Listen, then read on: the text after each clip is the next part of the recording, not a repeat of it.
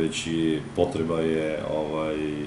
da se taj objekat sagleda i da, da se rekonstruiše, jer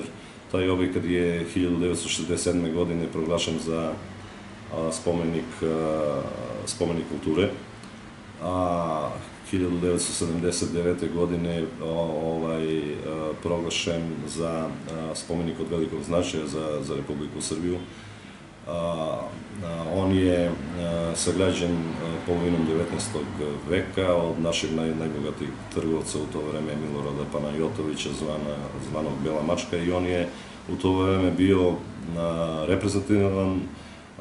objekat i taj objekat ima veliki istorijski značaj,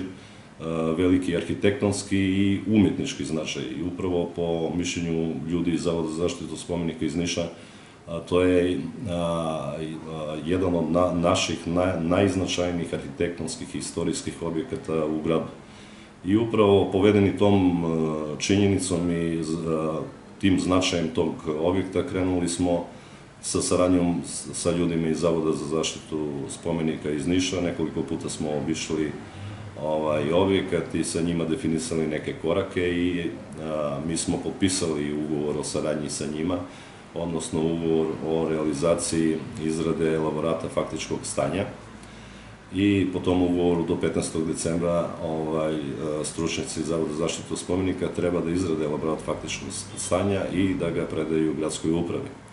Taj elaborat faktičkog stanja podrazumeva slikanje ovaj, svakog detalja a, na, na objektu i celog objekta i unutrašnjosti i spoljašnjosti, ali i definisanje zaštite tih umetnina koji su u samom objektu, naročito tih duvoreza, ovaj, od drveta koji imaju veliku umetničku vrednost. Po izradi tog elaborata mi ćemo te umetnine da iz objekta izvadimo i deponujemo, sačuvamo a, a objekat će stručnjaci da, da slučaju, on, da, da slikaju i onda na osnovu toga će kasnije da se radi projektno-tehnička dokumentacija, jer sam objekat je sklon rušenju i najverovatnije a, tom, tom projektno-tehničkom dokumentacijom biće podrazumeva rekonstrukcija celog objekta. Pitanju su tri zgrade, ali rekonstrukcija autentičnog stanja, što spoljaša, što unutrašiti, tako da taj objekat će imati ovaj, istu, isti i oblik i sadržinu, ovaj, ali i izgled kao objekat koji je izgrađen pre više od 170 godina. Po stručnicima Zavoda za zaštite, za, zaštite spomenika iz Niša, ali po nama, normalno u saradnji sa njima, mi smo definisali buduću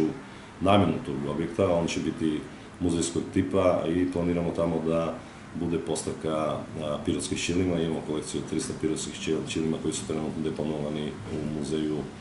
ovaj, u, u Pirotu, a bit će jedan deo i namenjen ovaj, radionici, odnosno tradicionalno izradi pirotskog ćilima, tako da će posetioci koji dođu imati prilike da vide tradicionalno proizvodnju pirotskog ćilima, a normalno i da vide naše vrlo značajne eksponate pirotskog ćilima, to je kolekcija od 300 ćilima, tako da će A, realizujemo celu investiciju koja naravno najverovatnije će biti skupa i obezbeđivanju novca ovaj, iz fondova za realizaciju tog značajnog projekta, a, projekta, siguran sam da ćemo naći novca zato što je taj objekat ne samo značajan za grad Pirot, nego i za kulturno naselje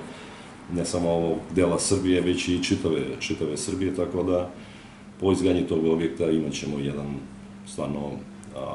objekat muzejskog tipa koji će biti jedin, jedinstven u, u Srbiji. Da li je već u budžetu za ovu godinu, za narednu, pardon, predviđena su određena sredstva za, izgrad, za izradu projektno-tehničke dokumentacije? Da, mi smo ovako, mi smo predali sredstva za, za elaborat faktičkog stanja za ovu godinu, a, a, a što se tiče izrada, izrade projektno-tehničke dokumentacije, odmah po izradi elaborata mi imamo dogovor sa Zavodom zaštitu spomenika iz Niša koji će da nam besplatno uradi projekat rekonstrukcije za ovaj, objekta Bela Mačka. I po izradi tog projekta oni će da nam budu kopartneri a, gde ćemo zajedno sa njima da apliciramo kod fondova, možda i kod fondova preko granične saradnje, tako da ćemo dobiti sa njihove strane izađemo projektno-tehničku dokumentaciju, oni će nam biti